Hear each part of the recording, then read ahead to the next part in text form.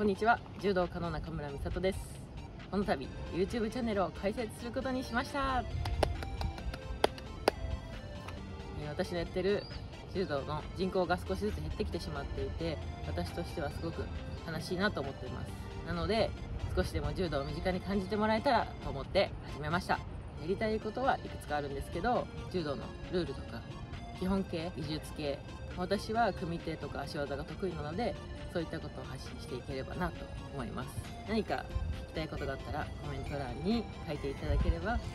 え答えられるように頑張っていきたいと思います。他にもあのみんながやってるようなあのあれあのあれですあれ。コラボ。コラボ系をやりたいなと思ってます。その人によって入り方が違ったりポイントが違ったりするのでそれも柔道の一つの魅力かなと思ってます。なのでその柔道家の得意技を学びに行きたいなと思ってます。あとは他の競技の人とのコラボ。他の競技の友達からも柔道やってみたいっていうのをいくつかあの聞いているので、え柔道体験をしてもらいたいなと思っています。逆に私が他の競技を体験してみて他の競技を通してスポーツの素晴らしさを感じていければなと。あとは学校訪問です。未来ある子どもたちと柔道を一緒にできたらなぁなんて思っています。できる時期が来たら一緒に柔道しましょう。ょっと待って。できる時期が来たら行きたいと思うのでお手柔らかによろしくお願いします。あとは大会を開催して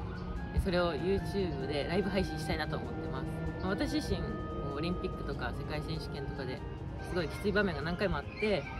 そこで応援の力がパワーになったっていう実感がすごくあります。本当にきつい時にあと一歩出たい時に背中を押してもらったっていうことがあるので私の、えーやる大会ではたくさんの人に応援してもらいたいなと思ってます、まあ、その目安として日本武道館の使用人数が1万4471人ということなのでまあ本当にそれぐらいの人に見てもらえたらすごい嬉しいなっていう気持ちもあるので登録者数登録者数1万4471人を目指して頑張りたいと思うのでぜひ登録よろしくお願いします。パソコンが不慣れでほとんど今はスマホで編集してるのでと思うんですけど温かく見守っていただければと思います。よろしくお願いします。